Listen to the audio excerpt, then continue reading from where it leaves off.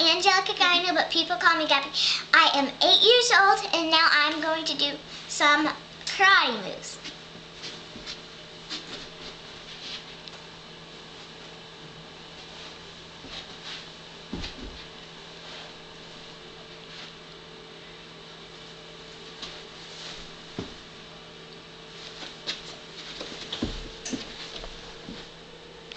Now I will do some self-defense.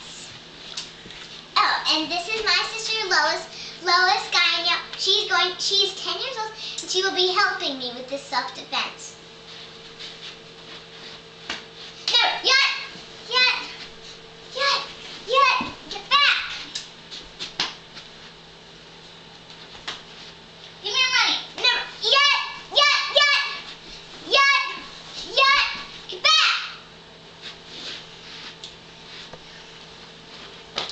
两片